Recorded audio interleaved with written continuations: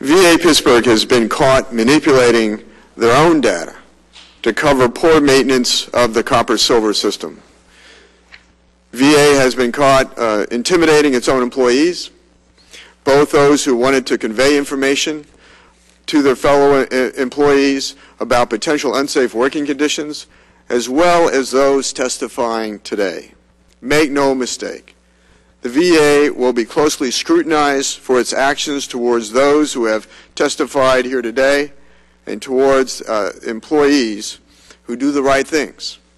Furthermore, there has been a serious breakdown in how the VA assessed its responsibility in diagnosing and reporting Legionella.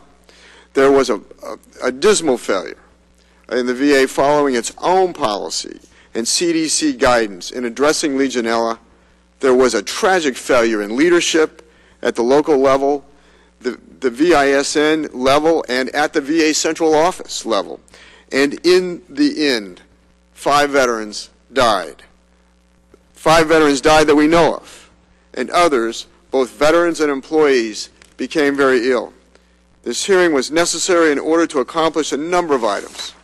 One, there must be an accounting for the failures that have been identified through hard evidence.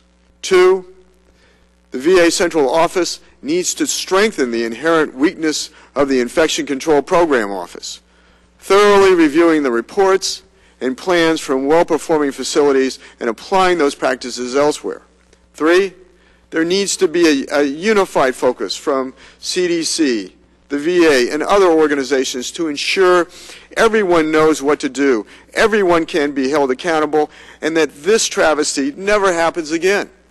For with 30 day, within 30 days, I expect the VA to contact my subcommittee staff in, bi, in a bipartisan fashion we will chart out a road ahead. With that, this hearing is adjourned.